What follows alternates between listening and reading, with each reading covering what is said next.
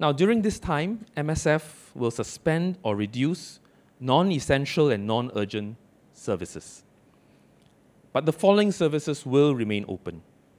Our social service offices or SSOs will remain open so Singaporeans in need can continue to get social and financial assistance with the appropriate safe distancing measures put in place. And these include the Temporary Relief Fund or TRF, the COVID 19 Support Grant CSG, as well as other ComCare assistance schemes.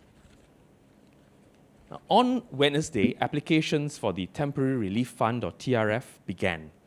And so far, about 60,000 applications have been submitted by Singaporeans.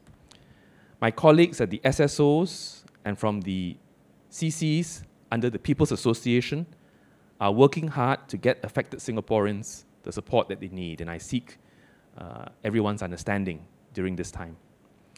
Applications are open for the temporary relief fund until the 30th of April, and there is no need to rush. With the latest measures in place, we will step up safe distancing for the application of the temporary relief fund in the following ways. First, we will be launching an online application form next week and an online system to reduce the need for applicants to travel out to apply. We will provide more details soon. Second, for those people who feel that they still need to attend physically uh, to obtain and to fill in forms, they can continue to go to the SSOs and community centers, but we'll provide the forms for them to take, to fill in at their convenience and time at home, and a box for them to drop off.